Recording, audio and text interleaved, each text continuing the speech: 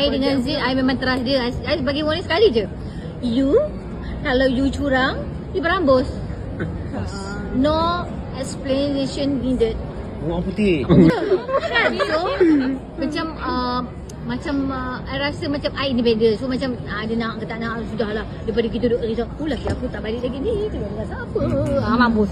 Uh, Tak setuju isteri aibkan suami di media sosial. Ini cara cerita kalau Zain curang. Pelakon jelita, Rosita Che Wan akui akan memberi amaran kepada suaminya, Zain Saidin jika mahu bermain kayu tiga atau wujud penyondol dalam rumah tangga mereka. Kata Rosita atau mesra di sapa cerita itu menegaskan dia tidak akan berkompromi sekiranya suaminya berlaku curang terhadap dirinya. Kalau saya, bagi amaran sekali sahaja, kalau curang dia boleh berampus, pergi, tak perlu jelaskan apa-apa lagi.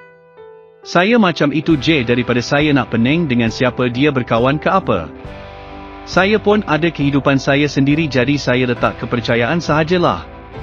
Tapi kalau betul suami saya ada hubungan, saya tumbuk muka dia, bukannya tarik tudung, marah, perempuan itu. Suami yang gatal sebab jika kedua-duanya tidak sama naik, hubungan tersebut tidak akan menjadi. Jadi, kalau suami saya diganggu, saya akan marah Zain semula, bukannya naik hantu dengan perempuan itu, katanya kepada Astro Gempa. Cerita ditemui di ketika majlis pelancaran logo kedai emas, angsa emas jewellery di Petaling Jaya, baru-baru ini. Dalam pada itu, Cerita juga tidak bersetuju dengan tindakan kaum isteri yang suka berkongsi masalah rumah tangga dalam media sosial. Baginya, perkara tersebut seperti memalukan diri mereka sendiri sebagai kaum isteri. Sebenarnya saya tidak bersetuju tentang aibkan suami dalam media sosial. Ibaratnya, tepuk air dalam dulang tetapi akhirnya terpercik pada muka sendiri. Kalau ikutkan berdosa sebagai isteri, berdosa buka aib suami kepada umum, jika marah atau hendak berpisah, terus ke pejabat agama.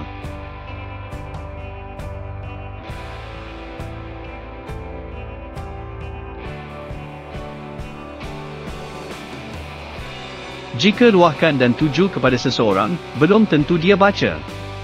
Tanpa sedar, luahan yang dilakukan timbulkan fitnah kepada orang lain pula. Kalau marah suami, kenapa hendak beri 50 juta orang tengok? Marahlah dia terus, katanya lagi. Sejak kebelakangan ini, kemenut rumah tangga beberapa pasangan selebriti tanah air disebabkan kehadiran pihak ketiga menjadi topik perbualan ramai. Antara rumah tangga selebriti tanah air yang menjadi tumpuan hangat ketika ini ialah Hafiz Roshdi, Puteri Sarah Liana dengan Syamsul Yusof dan Bella Astilah bersama Alif Aziz.